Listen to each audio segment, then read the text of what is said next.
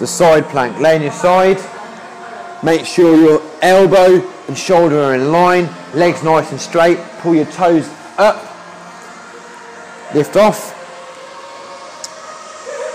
Place either your hand on your waist or up here. Push away from the ground through your hips. So push away. Maintaining this alignment through here. Head back as well. Clench your butt. Toes up.